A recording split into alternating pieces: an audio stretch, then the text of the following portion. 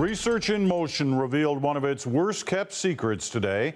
2011 has been a bad year for the company, which has been one of the best known and most successful Canadian brand names in the world. But now profits for the struggling tech giant have plunged. And tonight its co CEOs are facing new calls to quit. It's all left many wondering can RIM rebound in 2012? The CBC's John Lancaster has the details. Holiday shoppers continue to spend today, just not on RIM's playbook.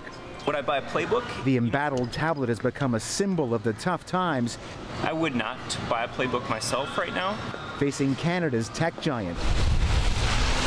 Despite prior warnings from RIM, its third quarter results confirmed what many predicted. The company isn't what it used to be.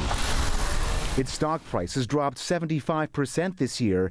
In July, 2,000 jobs were cut, and the outlook for future sales is also down. Investors are getting antsy. We, we think that they have lost their way in the consumer handset business. They've lost it to Apple, they've lost it to Android. They're not going to get it back. In its third quarter, RIM shipped 150,000 playbooks. In its most recent quarter, Apple sold 11.1 million iPads. The men behind RIM's technology say they won't resign, but co-CEOs Mike Lazaridis and Jim Balsillie will cut their salaries to $1 a year.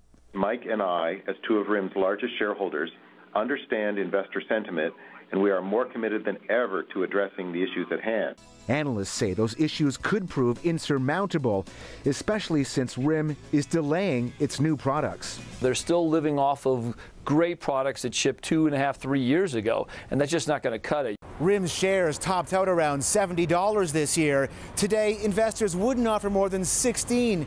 Simply put, the company is now trading even below its book value, the value of its assets if the company was liquidated. Peter. All right, John, thanks very much. John Lancaster here in Toronto tonight.